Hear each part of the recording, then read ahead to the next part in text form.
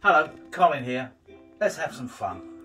A trick with a little hanky.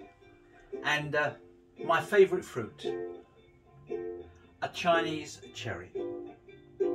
Watch the merry cherry go through the hanky. Hop! Through the hanky. Hop, well, it, oh, it almost got there. Halfway. Never mind.